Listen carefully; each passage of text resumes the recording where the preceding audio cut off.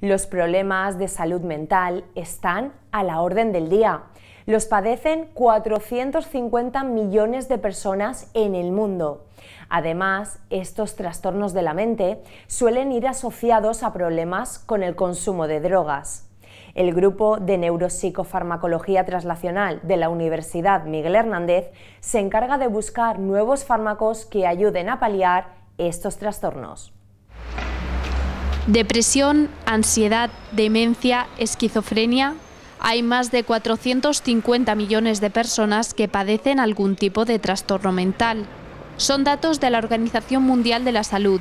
Además, las personas que tienen este tipo de problemas mentales tienen más probabilidades de consumir drogas. ¿Cómo afectan los fármacos y las drogas sobre la conducta y el cerebro? De estudiar estos efectos se encarga el grupo de investigación en neuropsicofarmacología traslacional de la Universidad Miguel Hernández.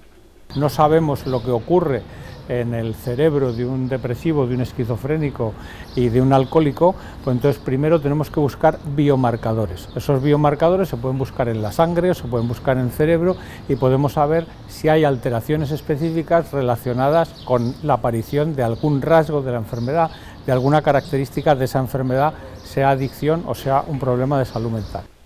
Para llevar a cabo este estudio, los investigadores de la UMH realizan ensayos clínicos en modelos animales modificados genéticamente.